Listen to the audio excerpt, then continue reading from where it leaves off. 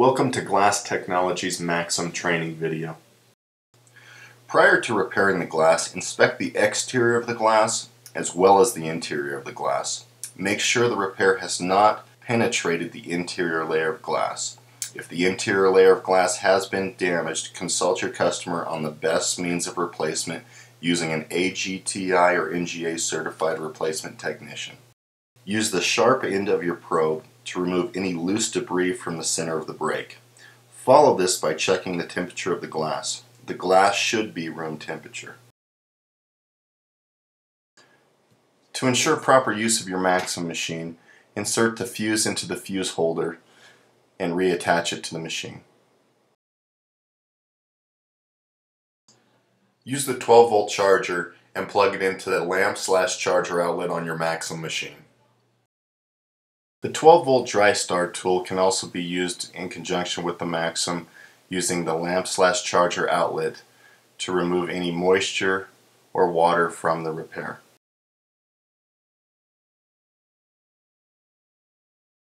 When using the 12 volt drill, plug it into the drill outlet on the Maxim machine. The Maxim comes with a drill speed adjustment for optimal performance during the drilling process.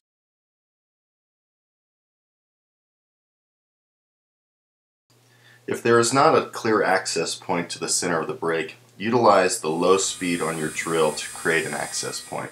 Note you should only have to drill into the glass approximately a sixteenth of an inch.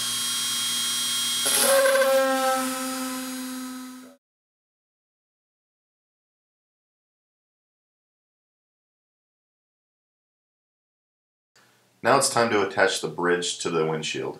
Apply a small amount of suction cup lube to the bridge. Make sure the two black leveling screws are threaded completely up into the bridge before seating it on the glass.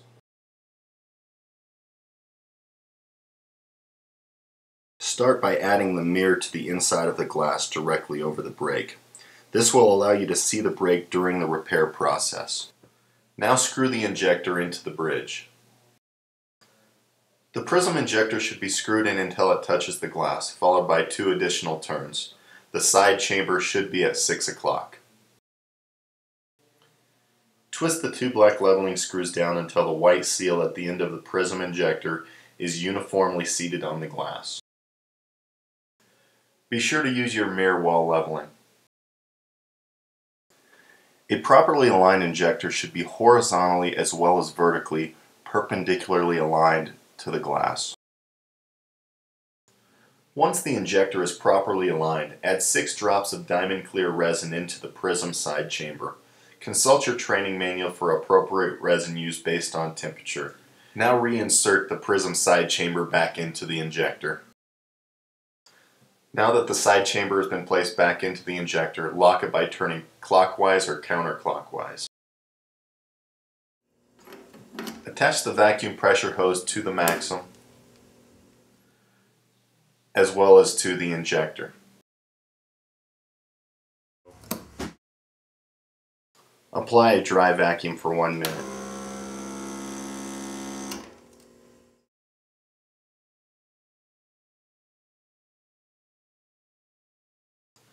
While on vacuum, rotate the prism injector 180 degrees so the side chamber is now at 12 o'clock. This will allow the resin to drain into the repair. Let the resin drain for approximately one minute.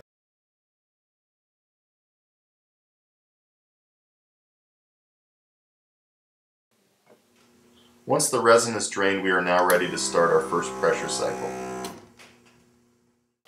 Apply 30 to 40 pounds of pressure to the injector and let it sit for approximately 2 minutes.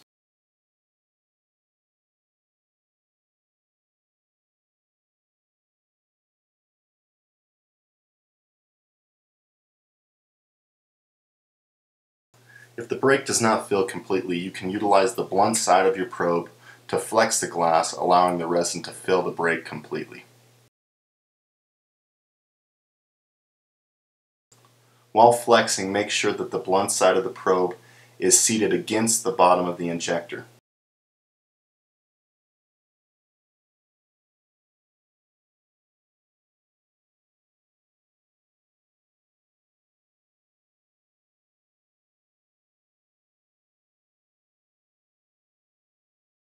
Now that the break is filled, remove the mirror from the inside of the glass.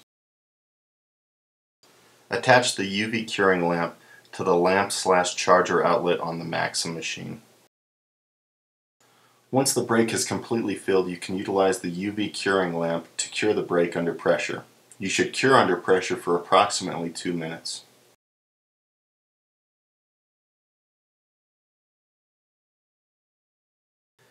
Now remove the UV curing lamp and disconnect the hose from the prism injector. Now we can remove the bridge and injector from the glass. Lift the suction cup off the glass to remove the equipment.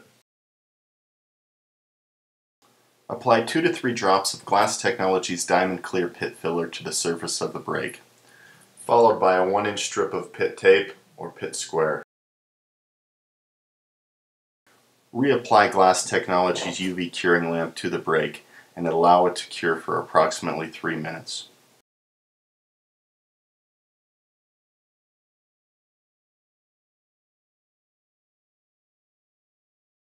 After 3 minutes of curing, remove your UV lamp from the glass. Remove the pit tape or pit square from the glass. Utilizing a razor blade, scrape any excess resin off the surface of the glass until the glass is smooth. Using a glass cleaner and a paper towel, clean the area around the break. Now it's time to polish the repair. Use the pit gloss and apply a small amount to the surface of the glass. Utilize a paper towel or the pit polishing wheel that's supplied in your kit to polish the surface in and around the pit area. Mm-hmm.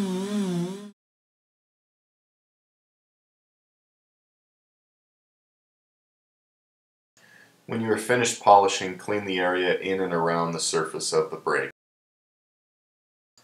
Thank you for watching Glass Technologies Maxim training video. With these tips in your practice, you can achieve the highest quality results in the industry.